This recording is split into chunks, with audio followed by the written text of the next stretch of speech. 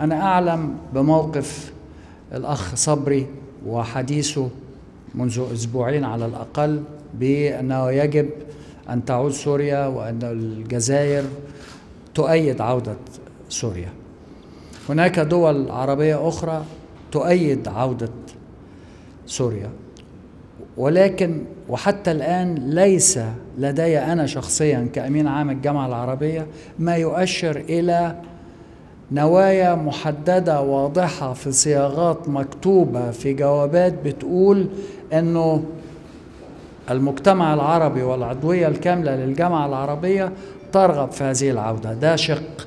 الشق الآخر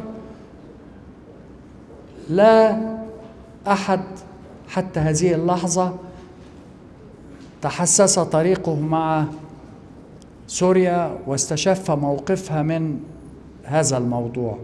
أعتقد إنه الفترة من الآن حتى حينه عند انعقاد هذه القمة سوف تظهر وتكشف عن النوايا الحقيقية لكل الدول الأعضاء.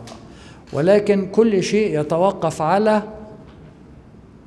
العمل من خلال تحرك رسمي مكتوب سواء في بند أو في قرار وهذا مبكر بعد.